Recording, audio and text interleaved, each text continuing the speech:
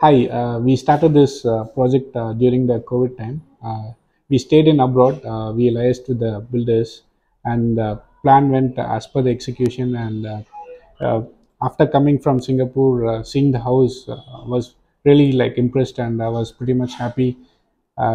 Things were really good, and we were happy.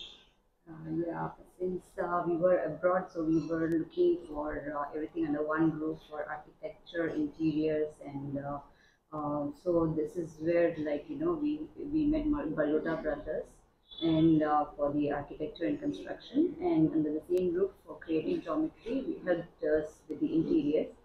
So we are from the start till until the finish. Uh, we had a smooth transaction, and then everything has come out very very well as we were we had expected.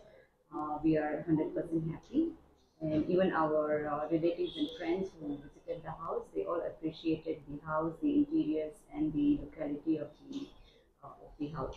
So all Yeah, and also I would like to uh, thank uh, everyone uh, who are actively involved in this project because yeah, because of uh, they really did a great job.